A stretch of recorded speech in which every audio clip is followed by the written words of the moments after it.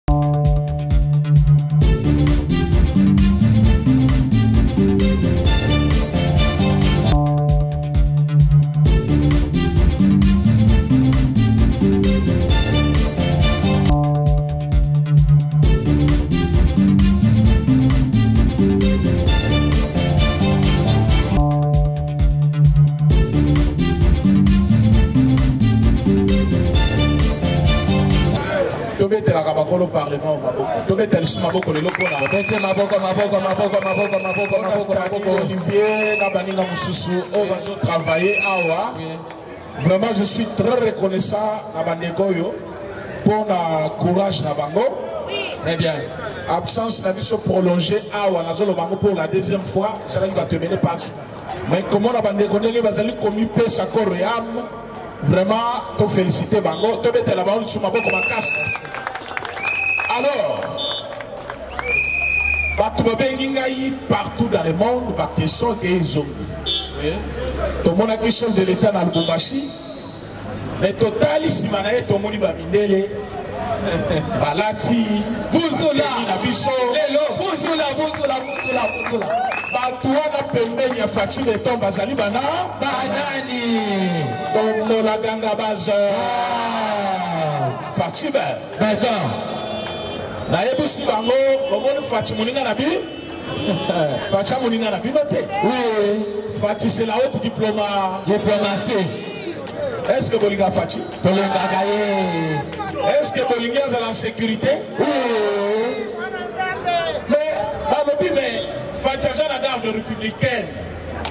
donc faci na pas confiance na garde républicaine ou quoi nayobi tala baoyo bakomprenaka toujours makambo na asema na retard bozali koluka nini pourquoi vous cherchez les morts parmi les, les vivants pourquoi vous cherchez les morts parmi les vivants les vivants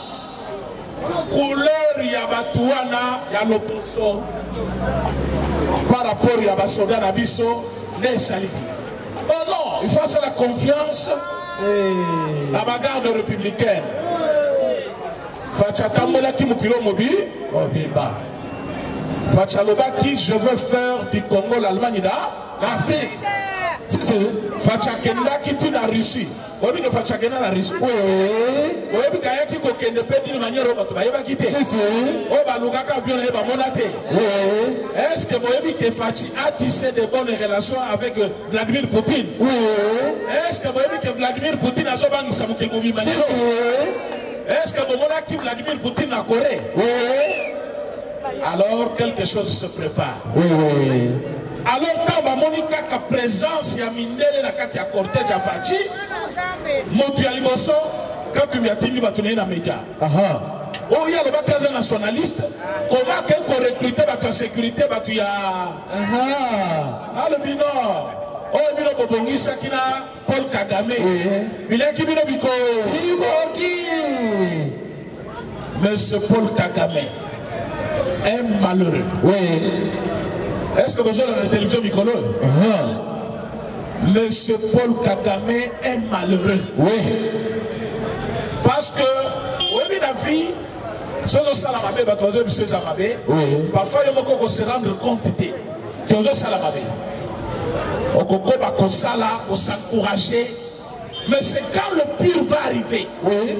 baconseil nyonso ya bato wana ebandi kosala nini eh? kozongela yo na minute paul kagame se retrouve seul oui, oui.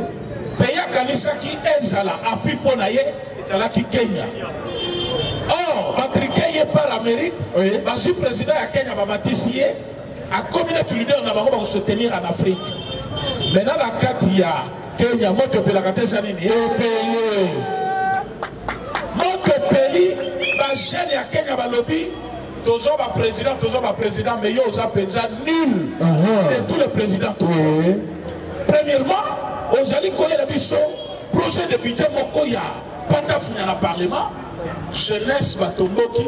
Soki omonaki image wana, il y a une jeune fille asimbi drapeau ya Kenya devant les militaires. Alobi naza mwana mwasi ya Kenya, nazobundela intérêt ya mabele na ngai, eloko etikali bo kamataka minduki na bino bobeta. Mais soki bobeti yango te kabiso nde tokoramporte juste le départ de Ruto na kati ya Kenya. Très bien. Alors que le président Ruto aza na combien d'années na pouvoir? akokisi nano 3 ans te aza na une année demi ou deux ans mais c'est une première depuis que kenya ezali koexiste basenga départ ya président à une année et demi Eh. Ah oui, pour la mine, Balobi, il doit partir. Oui. C'est un mauvais. aza na plan moko te ya malonga mpo na peuple ya ke kenya par contre akotisi kenya na kati ya bourbe azali kozwa basoldat ya kenya akamati bajeune ya kenya atindi bango na goma or soki bakoti goma baye bazonga eza te awa na kinshasa lisolo eza ndenge mosusu oh, kuna bazoboma biso bana na biso bazokufa na kenya c'est un discours officiel très bien une députée alobi bana na biso so bakei koma moye bazonga eza te cetadi bakendaka wapi ate okokufa c'est-à-dire l'armée congolaise accompagnée par nos frères wazalendo Très bien. Batie pena est de la République mouroir ya batu ya Rwanda na Kenya. Oui. Et na Kenya sali bango passe jeunesse batongo. Bazali ko se camoufler derrière makambo ya projet de budget na parlement parce que balingi te bamitia conflit avec la RDC. Mais le nœud du problème c'est que basoda ya Kenya, bajene ya Kenya batombi na est mpo na kobunda. Mais or bazo kufa ebele. Mais là ba jeunes ya Kenya ba moni que soki ba réclamer dans ce sens là. Biso Congo pe to lamuka to lobi ah comme Kenya zo bundisa biso Kenya pa komi ennemi na na biso. Pour que to kena angle wana te ba profiter kaka nde balobaka Verre ezalaki deja deborde. Bazelaki kaka esa nini esopana. Allez, ba profiter projet de budget, ba jeune batomboki babimi na nzela. Appui ya makasi ya Paul Kagame na kati Afrique. Edimloka te esa nini edimle. Kote na ye. La semaine passée nazalaki ana ebisaki bino a changeaki directeur ya renseignement. Oui. A changeaki commandant ya force spéciale. A changé 100 militaires. na kati armée na ye a limoger bango a changer gouvernement dans une année quatre fois remaniement mais malgré nyonso asali wana sécurité na eza assuré te ntango bayoki te faci a déjà renforcé na congo kuna na kati ya kigali réunion ekotaka te eza nini ekoti balobi comme a renforcé c'est-à-dire makambo ezobanda kala nde te uh-huh. makambo yango eza nini tombola bazinga yebisa yo makambo ganga baso bino nde bozalaki kotinda ye lobaka liloba moko faci loba kaka tokota rwanda makolo faci deklare guerre faci ye wana faci abandi nanu korenforce sécurité na ye Susu, est-ce que nalobi eloko? Oui, sakola. Tuzula, nayebi ke bozo koma moke moke mpo boza ba politiciens. Susu, est-ce que bozo koma? Tokoma. Est-ce que bozo mona kote nazo kende? Tomona bien, tosasala. Toitombola ganga baza. Fatshi nde akosilisa bitumba oyo président mosusu te. Très bien. Fatshi est venu pour renforcer ke congo ntango ya kokende etikala na rai oui. donc président nyonso akoya oui. otindi kaka moke tre ebandi marche alors na minute oyo bato bazomona nyonso asalaki wana te pourtant c'était une fondation oui, oui. armée na biso personne n'a vu notre armée arriver à ce niveau toza lelo uh -huh. mais tokomi na armée oyo ezali kobangisa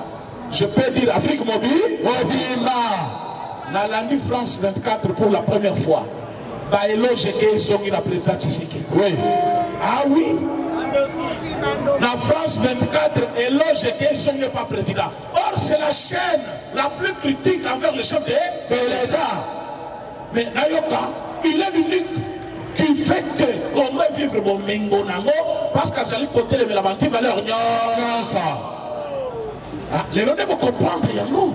Quand il vous disait que Paul Kagame, c'est un mal qui ruine l'Afrique, oyebaki te. Or Fatima Poutine na Ramaphosa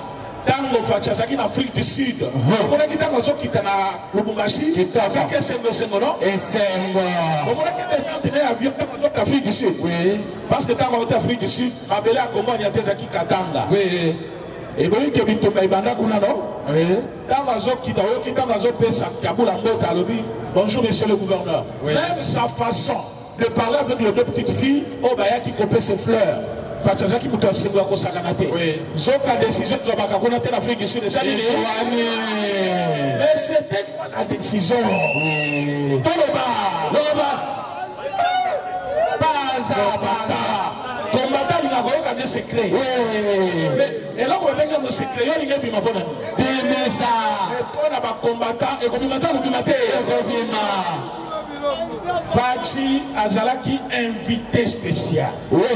Na kati ya cérémonie ya investiture ya Ramaphosa. Oui. Pourquoi j'ai dit invité spécial? Partout batindaka invitation ambassade accueilli azwa invitation na yo ambassadeur yo moko akoti na biro apesi président. Toza na ambassade ya Afrique du Sud na Congo. Mais pour président Tshisekedi Jacob Zoum atindi envoyé spécial. Si si. Boya baka envoyé wana Jacob Zoum azaka beau frère na ye. Ah, nani ki? Na Ramaphosa plutôt. Ramaphosa. Oui. Azaka beau frère na ye. Aza ndeko ya mwasi na ye nde chargé na ye de mission. C'est-à-dire un proche ya Ramaphosa. Akamati invitation alobi oyo invitation que nopesa yango président Félix Tshisekedi. Tshisekedi. Kagame amoni kaka envoyé spécial à ye pe kuna azozela invitation na na ye banda kozela tongo etalaka te esa nini etani moto ekota te esa nini ekoti tongo etalaka te esa nini etani mokolo investiture oh. amoni motu te amona mola nkwasa azokita na avion oui. fatube beton akomi kuna kamafoza alobi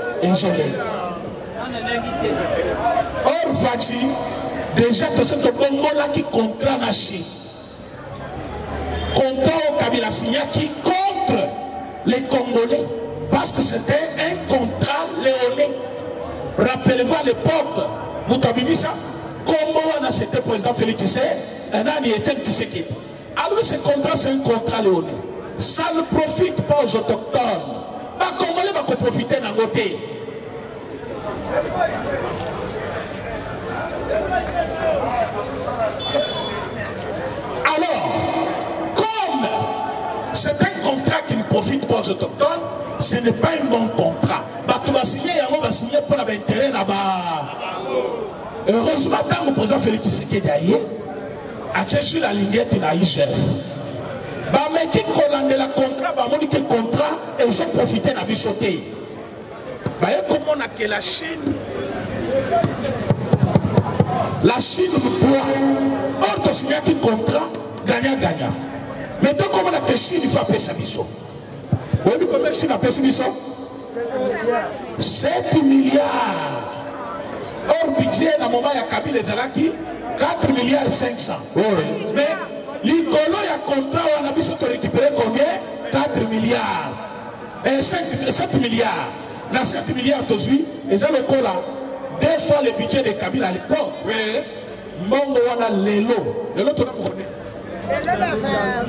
samedi non le 22 non lelo faci azali kolancer travaux ya banzela oyo ezali kokende ti aéroport ezali kotraverse ba commune soki 5 makambo ya kozwa ka nzela moko mpo na kokende aéroport abour ya me mbongo nini mbongo wana ya contrat ya chine ya chine ça veut dire biso na chine mokaba na mokaba na loketo loketo alors comme tokomi La Chine corps à corps.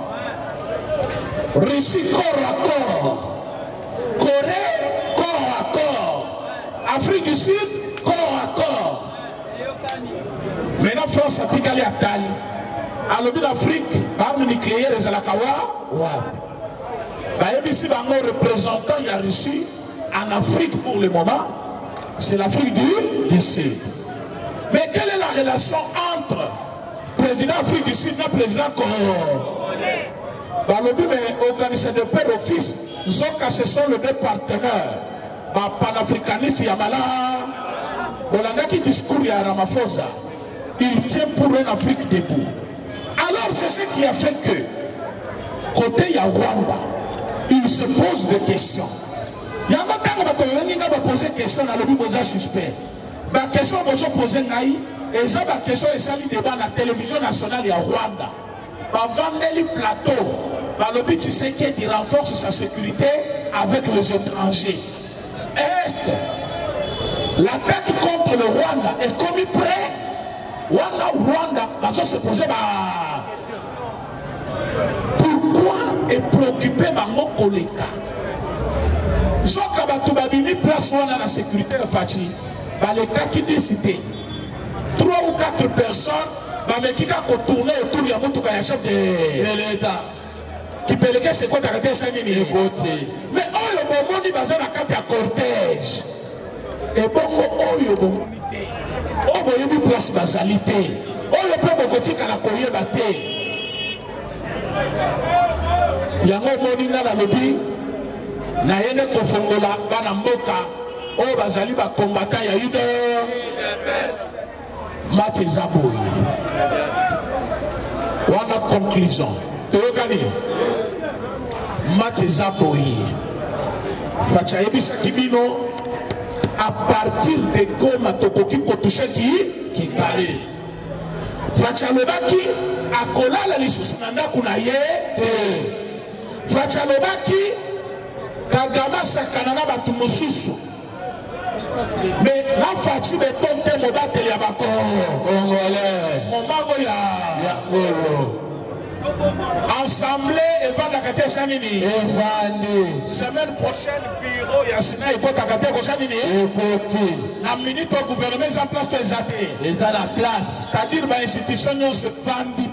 Oui. Il y a des signes qui ne trompent pas. Ce Rwanda que vous voyez, vous ne le verrez plus jamais. bato balobi par quelle magie mais ntango ba m23 babandi kotika mouvement na bango bazomipesa bango moko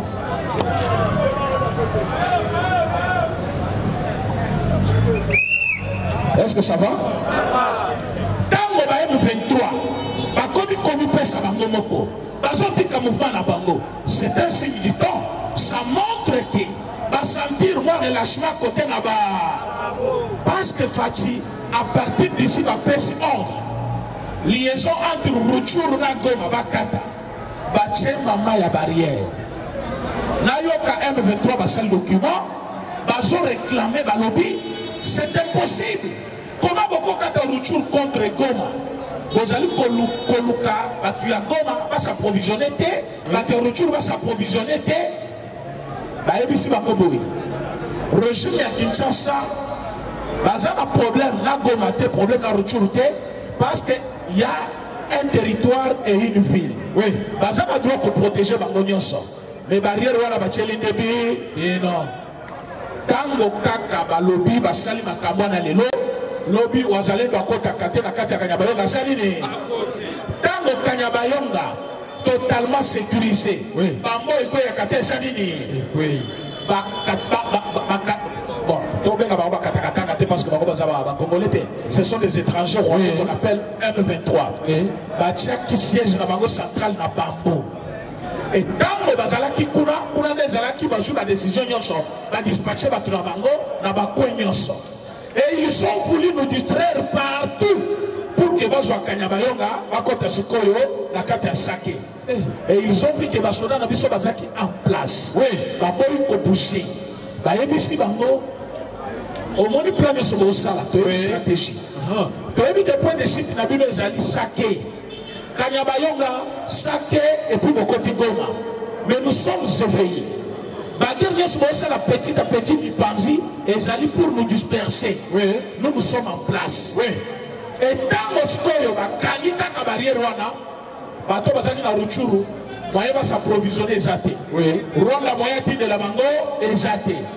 nde omonaki babwakaki bombe na bango wana ebomeli biso trois personnes on regrette mémoire na bango ya une deux femmes et un monsieur oyo ayeke kufela na hôpital bazalaki trois balance bombe pourquoi le deux sniper oyo batindaki est ce que bozao ozali ozolanda malamu ozali batiaki mpe mituka motuka moko batie munition motuka moko bango bakotise sont le vrai tireur de lutte bakomi kaka na nzela basoda na biso na wazalendo bazalaki deja en place balanse bango embuscade moko place wana bakwei na embuscade wana le deux véhicule incendie bango baziki na kati ya motuka moko munition na motuka mosusu eziki na kada wana nde balansaki bombe ils ont voulu infiltrer à partir ya parce que nazali kosenga na gouvernement oyo bazali kolanda ngai bayoe Uganda na biso relation efe ekata ekatana sesa est-ce que bolanda ngai basniper wana bakoteli par uganda nayebisaka bino ke monsieur nanga ne vit jamais au rwanda afandaka mpe na ruchuru te Base ya Monsieur Nanga ezalaka wapi? Uganda. Na Kampala azali kotambola na cortège. Ba sniper wana mibale ya ba Rwandais bakoteli par Uganda. Mais comme basoda na biso bazalaki en place, batie bango barrière. Ba renverser le deux mituka, batie yango moto. Bango baziki na motuka moko, munition na motuka mosusu. to na minute oyo tout rwandais responsable na kati ya m23 akotikala lisusu te parce que baza na munition te baza na minduki te uh-huh. baza na ravitaillement ya malonga te ça fait combien de mois maintenant que tozali kobeta bango un mois et demi si si renfort ezoya te munition ezoya te est ce que boyokaka localité moko bazwango lisusu depuis de jamais depuis un mois depuis un mois et demi pourquoi aujourd'hui te tozali kobetama nde place ifale tomona unité ya bacongolais oui. opposition tout comme majorité basunir de rior le chef de l'état basala le bon combat c'est pendant ce moment que katumbi azali kobenga euh, fayulu bake kosala règlement L'ordre intérieur ya opposition. Fayulu alobi oza mwana moke oye politiki kala te ozobenga ngai tosala règlement d'ordre intérieur opposition ezalaka na règlement d'ordre intérieur te soka katumbi azali na stratégie na kati ya parlement il faut bapona porte parole de l'eau de l'opposition or ne peut avoir poste wana ya porte parole de l'opposition que plate forme ya opposition eza na bato ebele or fayulu na pas de député na assemblée katumbinde aza na badepute na kati ya nsa assemblée comme basui déjà rapporteur oyebi ke dominique munongo balekile biso toboyaki bato na bino ya union sacré bavotaka ye abimi kuna oyo eza poste ya opposition dominique munongo aza kuna aza moto ya katu maintenant bazali koluka poste wana ya porte parole de l'opposition Depuis des années na mboka na biso bapesaka opposition te. Oui. Mais Fatshi alobi mboka moko te kotambola sans opposition. Soki opposition bazali organiser poste yango wana porte parole bafutamaka bazwaka mbongo aza mutu na bango akolobela bango me bopesa naye mutu moko na majorité ya opposition eza na parlement or fayulu a tout perdu maintenant aboyi basangana na katumbi Parce que tango Katumbi ako rafler sous poste wana, bato ne bakotoboka contre ye, soki otindaka biso na parlement. Nde lelo to rafler poste wana. Mais comme il avait utilisé une mauvaise politique ya Kabili, oyo bakosaka ye, bayebisaka ye nini? Election eza te. nanga alobi élection eza te oyo jo aleka na télévision seki oyo ya pprd non epenga aza pprd te pprd maître na bango wana seki kambere ferdinand ayebisi bango élection eza te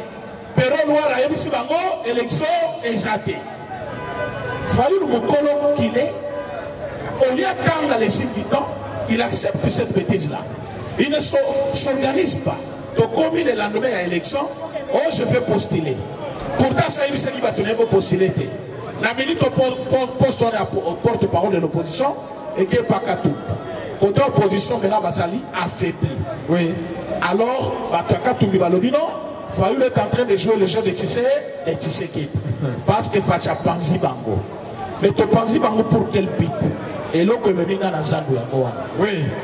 Parce que le lot renforcement ya sécurité ya chef de l'État, il fallait être ya bino. Oui. Toza na batu malamu te na union sacrée. C'est ça le bango Loba. Est-ce que vous l'avez mis ça Beneza. Bato balingaki ko renverser chef de l'État baza musika te. Oui. Bato bazalaki koluka coup d'État esimba. Bauti Rwanda te. Rwanda azali kuna bazo travailler na bango à partir ya Kinshasa. Kinshasa, très bien. Et président Tshisekedi ayebi bango moko moko. Oui. Alobi boza ba petit joueur. Pour vous montrer que je suis grand, omonaki film esuki na premier épisode. Christian Malanga akendaka te asali nini? Akende. Cardinal Ambogo akoma kimia te akomi nini? Ah, mikolo oyo bika azala kinshasa te azali azali mais pourkoi azoloba lisusu te kimi ekota faci alekisa ete amalemale de sozokanisa oza puissant keba moto abatami akozala plus puissant que toi Tango Christian akufi, c'était leur plan. Atalani balobi, mais le monsieur est fort. Il est en place. Donc manœuvre musu tokosala pour le moment ekosimba te. oyeba ke koto nyonso ya ville barrière ekomi kobanda na 20 heures oui. okoleka lusu pale na nation te so motuka efoleka efo bacheke yango malamu Stadi ba cheke nde oleki. Bokeba bino bato bozalaka ba associé ya bato mabe. Contrôle mixte ezosalema wana blague eza te. Batie la police, police militaire, stadi ba peine baye kotya mura na kati wana basali 3 unité bazali kosala patrouille mixte chaque butu na kati ya kotambola na bango badecouvrir makambo ebele il y a de gens na kati ya majorité bato na kati ya union sacrée mais bazali koluka barenverse chef de l'etat Chef mabe. Lelo chef alobi bokomona sikoyo oyo nakosala bino.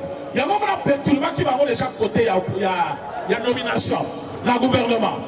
Atia bango siko panzi likolo bato balengi. Bakomprendre te jeu na ye. Alobi non non c'est un gouvernement bon. Je vais travailler avec eux. nzoka eza mpo na kosisa bango gaz akamati sikoyo bato na ye bazokola kaka bamindele me bazokosana bato mwindu bakendaki kotanga na bamindele wana baza ko c'est depuis 2019 mais mosala bango ya liboso bazobanda babandi yango ane o oh, oh. donc batangi 5 ans ou 6 ans batangi nini ndenge akokata ndunda eh. ndenge akoteka kwanga eh. batangi ndenge akomanye matu matoza yo ozaka kuna o oh, oyo eza deuxième dernier mandat oui constitution elobi dernier mandat mais yo olingi ozo pouvoir na makasi mandat yango mpe nano esili te Deja banda ko pe uti ko ba. Ko banda. Lokola ni gozo na makasi ya ko zala maka. Na makasi. Okuta siko matuza evandi wana. Ezo sila. Oko koma dictateur, dictature ezati. tozali nde koluka makambo ezonga no ah. olingi ozwa pouvoir yaka na va no bongisa parti politique convaincre peuple yaka ozwa pouvoir mais yo ovandi epa na yo ozobongisa minduki na yo olobi je veux prendre le pouvoir na makasi yako ozala makasi zero yako ozala makasi okuta sikoyo makasi oyo eleki ya ya yo c'est comme ça faci asali boye si si sécurité na ngai en tant que président chef de l'état eza danger par rapport ya bato oyo nakanisi baza bandeko na ngai Comme na renforcer yango, nazotala maintenant problème ya roi ya Rwanda. Batu awa na Congo basekaka Fatshi. Oui. Fatshi azoloba na ndili ke je vais attaquer le roi. Batu balobi ah, encore une promesse. Na ba journaliste ya Katumbi oyo lelo bakomi nsima Fatshi nakotaka mpe bakombo na bango bajournaliste baza ebele oyo bazokusi makatumbi lelo bazokumisa faci na bainternet vous n'avez pas lide toyebi bango basekaka faci balobi oyo oh, c'est le dernier mensonge ya deuxième mandat ye atake paul kagame tokomona mais lelo paul kagame bolandi ye bolandi ye na télévision il a dit biloko nyonso boyokaka wana bakosa bino je n'ai jamais posé des conditions mpo na kokutana na tise na tise zoka ye alobaki avant nakutana na tisekedi asalela nanu maloba na ye alobaki na njili parce que paul kagame abanda kolanda en direct ndenge faci alobaki ka partir ya goma tokoki kotushe kikali monsieur paul kagame bakei koyebisa ete makambo oyo sur le plan militaire kimia ekozala te boyokana na président félix tshisekedi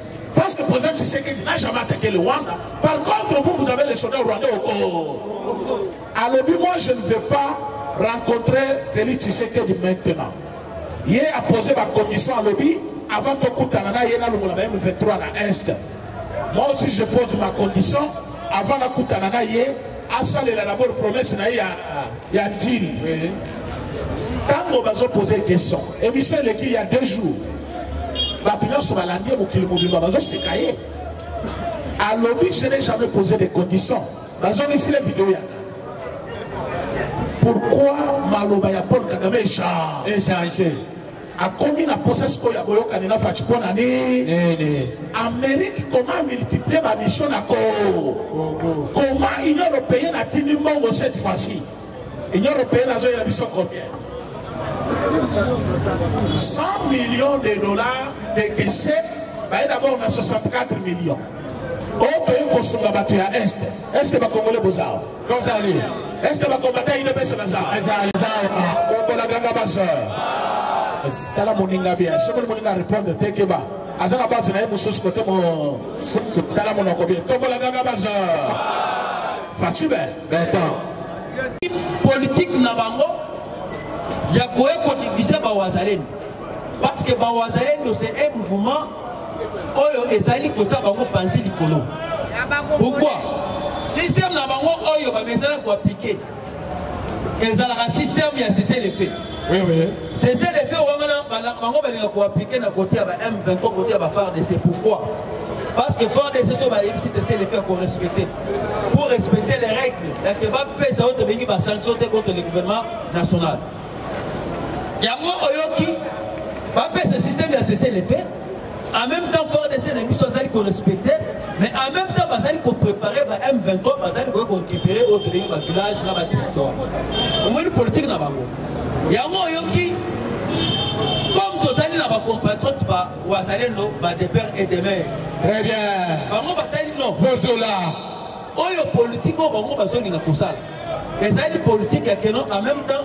bazali kolia batya mopepe bale batya mopepe qu'est-ce qu'il faut esengeli bele biso tanke bacompatriote congolais ya walikali ya irangongo ya masisi ya rujour tosangana mpe tomema mpe minduki ya ke to defendre mboka na biso ya koyebisa bango keno mboka oyo ezali ya bawanete mboka ezali ya bako bakongolais yango oyoki bango baye komema mpe minduki ntango babimi minduki ekase politike ya baeuropéen ya kosala système ya siselefe yango oyoki kakame bapesaki ye cope ya keno tout au plus tard au mois de janvier barécupere ville ya goma eloko wana esimaki te par rapport ya grâce ya nokompasoto wazale wazalendo wazawaza fatie beton idps viva viva yango kakabe baye kobenga ye na kati ya union européenne na nations unis batuni ye jusqu'à présent mpo na nini ozali korécupere ville ya koma te kakabe alobi nazali na difficulté batuni yo difficulté nini ya mbongo ou bien ya baarmement alobi que non Nazali na difficulté ya ba jeunes moko bazali kobenga ba wazalendo na kati ya est nde sikoyo union européenne azwi decision alobi c'est comme ça toluka moyen ya koekarte ba wazalendo ou bien toluka moyen ya kosanctionne oyo tobengi ba wazalendo lorsqu'ils ont commencé à anticiper ya koluka koma te eske bakoki kozwa mwa eloko moko yake bakosela bawazalendo makambo ya keno baekarte bawazalendo si omonaki bakei koutilize quelque prêtre ya église catholique kopesa bango mbongo yake comme bango bazali baprêtre Bazali ba hommes moko populaire babanda kosala système ya campagne ya diabolisation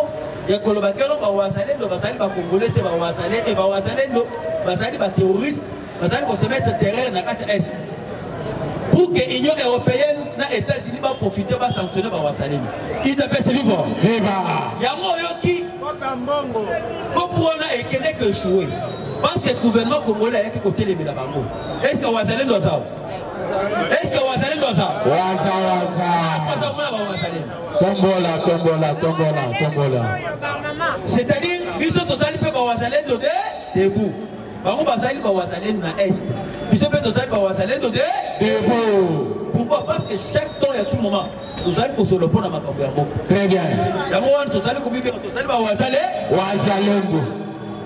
sikoyo gouvernement congolais ntango oyokaki deya politike wana yango omonaki gouvernement congolais abandi koatake oyo tobengi les nations unies en disant que na kati ya ukraine soki barekrite les ukrainiens mpo badefendre mboka na bango bazali kobenga bango bacompatriote voire meme na kati ya russie bazali ko recruter des risques bazali kobenga bango bacompatriote apesi exemple ya mexique soki okei na kati ya états-unis lelo oyo ya un groupe ya baaméricain bazalaka bamilitaire te mais bango baza civil baza mpe na baminduki balati mpe bilamba normal bacivil batelemi na frontière entre les états-unis et la mexique bazali komibenga ke bazali bawazaleni pourkoi bazali kosala surveillance bango moko yango omoni faci yebisi bango bino bobenga bango bacompatriote mais awa bozwa na systeme ya keno baza baterroriste makambo wana na mboka na bino awa isi okongo bawazaleni bazali bacompatriote ko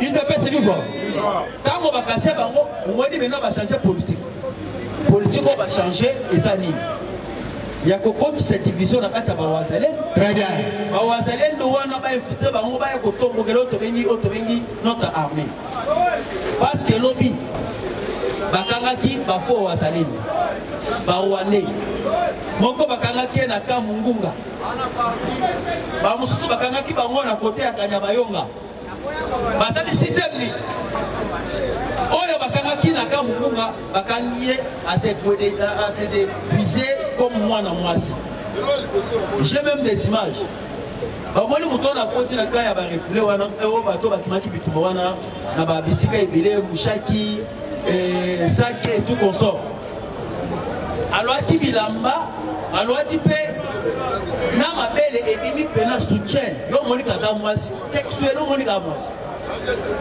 ti akoti bato mona baza mwasi bakipe te un moment omona moto moto moto elingani kwa dese mosusu no oyo namona oyo demarche eza ya mwasi te oyo demarche eza ya mobali mese eh, madame yaka nani ata mwana batalon bafiere mama yaka nano azomona owuti wapi o ngai naza awa eh, nafandaka yo ofandaka awa pesa adresse na yo akomi obeta mono batala boye perike wana balongi perike boye bala moko mobali idps vivo sikoyo basali bafini mabele bafina boye mabele eza te mais sikoyo oza mwasi ya ndenge nini mabele eza te Non, toko loka suspect.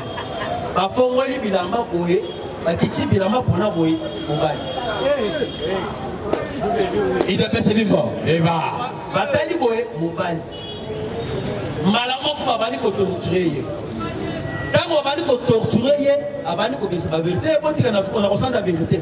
botika na kopesa plan nyonso tu oyo tomemeki awa na kati oyo tobengi kambo ngongo ti bapesi plan ti bakekolana mpe bamosusu na kati ya kanya bayonga bayaki na systeme ya kelo babanda koatake fardc ntango fardc akozwa mena atake epa bafo wazalendo wana bango mpe babanda kosevange contre le wazalendo mwe ndenge plan basalaki ntango kosevange contre le wazalendo mbala moko seklate mbala moko kakame aye koprofite yango omonaki bazalaki maîtrise mokolo ya lobi idps viva bango nyonso bazalaki maîtrise bakangi ba faux wazalendo wana oyo bazalaki evite pa ya paul kagame tobetela arme maboko makasi na wazalendo waza waza waza waza yango oyoki deja plan eza awa comprendre deja ezali plan ya états-unis na plan ya paul kagame basi baperde eza contrôle ya congo pourquoi soki otali système eleka na est babanda kofonctionne na système ya infiltration na système ya monisco soki otali bintu keita na délégation na ye bakendaki kotala madame la première ministre judith tuluka kokende kotala ye monisco apropose epa madame judith tuluka keno babakisela bango 6 mois ba continuer na biso na sala na mokano madame judith truka atali bango nalingaki réponse ya premier ministre ayebisi bango tobakisa bino 6 mois alors boye awa na congo ya de cela 24 ans na 24 ans oyo bino bosali na kati ya congo osi bobomi combien de rebelle osi bobomi combien de fukande combien de wa rwandais et en plus na kati ya congo depuis boya mpo keno kimia ye nzonga bitumba esila bitumba esila te kimia etela kokota te c'est difficile tobakisele bino mikolo l'essentiel bo respecte engagement ya gouvernement ko congolais très bien ayebisi bango bokanga bisaka na bino bosali nini bokende awa te madame la prime ministre alakisi bango mpe video alakisi bango video ya sud kivu ndenge monisco bazali kokotisa minduki euta na kati ya uganda bazokotisa bakamio ya bamindu preske 5 camion ekota na mibu ntango ekoti mbala moko peuple congolais aye kotelemela bango mpo boyeba ke kabila aza noki nalobi kabila aza do ozobanga ye kabila aza nani ndoki kabila aza ndoki tala degre moto ake kosinya bacharte ya monusco ya koloba ke arme na biso ekoki kokontrole te ata motuka moko ya bamilitaire ya monusco oui je vous dis eza bakondition basinya toza na droit te ya koatake un militaire ya monusco soki fardc babomi un militaire ya monusco c'est-à-dire baluki guerre contre les états-unis baluki guerre contre la france parce que monisco c'est une armée onisienne monisco ezali bosangani ya baarmée mondiale soki obomi ezali oluki bituma na bato wana bakoya kosala guerre officielle biloko oyo kabila akenda kosunya mais celle ke bacongolais meme na base prendre en charge ntango bamoni kamio wana ekoti peuple ya sud kivu batelemi balobi ke awa bino bokokota te ndenge bokoti deja awa toza na droit tokontrole oyo eza na kati ya mutu ya mutuka ntango batelemi babandi kokontrole batala boye na kati ya mutuka bateli ya fardc batala boye na kati ya mituka miniso deke ebandi kokende na destination po ekende kote ya kanyabayonga ekende koservir oyo tobengi ba m23 parce que enfontuma mikolo oyo ekomi kaka chaque jour kanyabayonga kanyabayonga parce que kanyabayonga ezali kokabola entre nord kivu le sud kivu et aussi luberu yango omoni bakamati bango balobi ekokota awa te ndenge boza awa bozali sanse bozonga esika bowuti très bien sur place dans un clin d'œil bazalaki soki 5 soki 10 mbala moko message ebandi kotambola ntango message etamboli peuple ase retrouve place wana plus ou moins 2000 à 5000 bamoni ke force ya peuple eye kolika baye kobalusa motuka na bango bazongi destination na kati ya uganda C'est pour vous dire que plan oyo ezali plan ya baaméricain souci ya états-unis ezali souci ya keno azonga en force na kati ya congo omoni se ke bango bazali koaplike dialogue dialogue wana c'est pour, c'est pour faire endormir notre armée en même temps bazali koendormir armée mpo na dialogue mais bazali kose préparer en force mpo baye koattaquer notre armée si, si. j'aimerais revenir na histoire ya rwanda Histoire ya Biarman. À Biarman, Yazalaki attaqué par Kakame. Plusieurs mois, plusieurs années. Alors, bah, occidentaux, bah, koya kosala le système ya dialogue ya négociation ntango ya biarmani akei mpena kose focalise na makambo ete négociation na oyo etali mouvement ya barwandais nde esika bayaki koprofite ya biarmani baelimine ye yango omoni faci azali kolala te faci atindela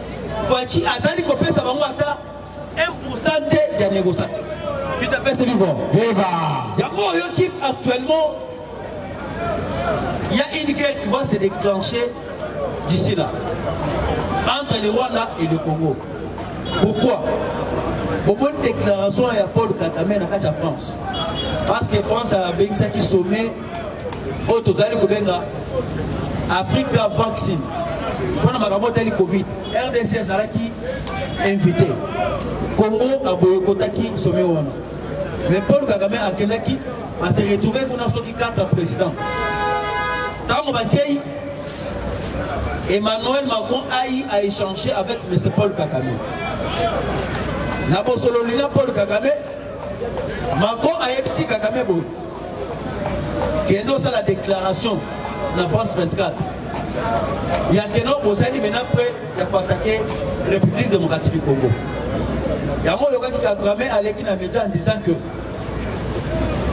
Congo azali koakize biso comme tozali pays agressé ndenge Congo ezali koakize biso tokomi déjà près ya koatake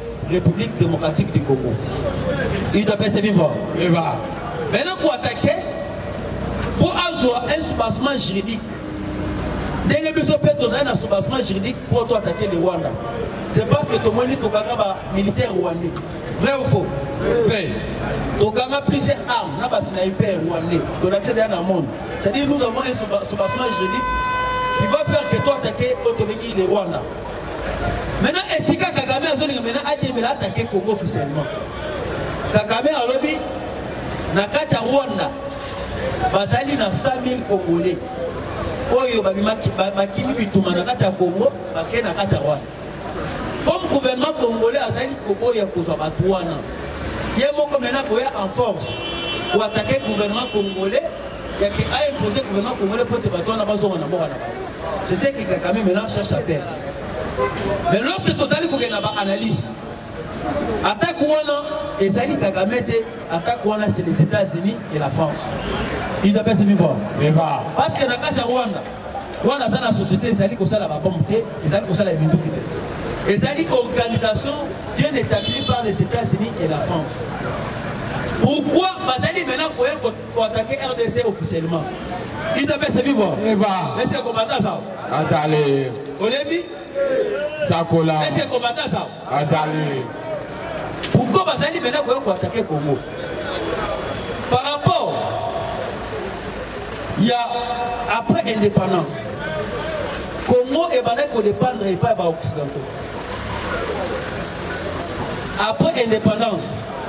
Comme Lumumba abandaki koluka mpo na intérêt, wani ebitumba Fatshi azosala ezali bitumba ya Lumumba, ezali bitumba ya Papa Simon Kimbangu.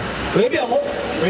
Comme Lumumba abandaki kolika mpo na vraie indépendance, bakendaki koboma Lumumba mpo na intérêt ya Congo.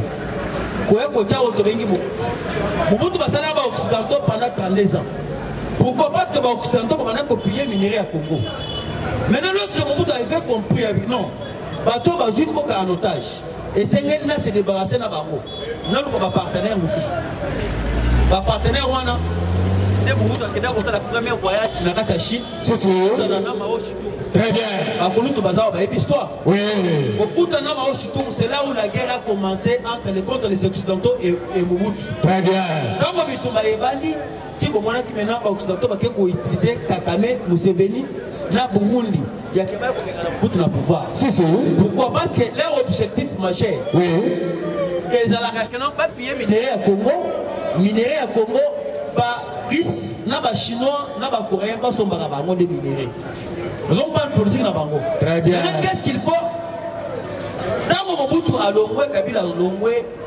na kabila oyo aye kolongwa kabila oyo le fils alongwaki mpo na oyo tobengi baaméricain te alongwaki mpo na pression ya états-unis oyo tobengi trump parce que na kati ya états-unis ya que des partis politiques les républicains et les démocrates très bien barépublicain bango bazala na politique na bango ya koimpose kotya guerre na kati ya afrique mpo te bango base retrouve tobengi bamillionnaire bill gate bana base retrouve maintenant badémocrate bango bazala na politique ya paix si ya kino kimia ba républicain plutôt ba républicain bazala na politique ya kino kimia ezala na kati ya afrique na kati ya europe yango omonaki ntango bango baye ba républicain eh, ba républicain tobengi donald trump aye koimpose kabila alongo na pouvoir mpo na intérêt ya bato babimaisena kosala bituma na kati ya oyo tobengi mono sikoyo ntango baye kolongola kabila bango mpe baye kozonga en force parce que kimia ekotaki baye kozonga en force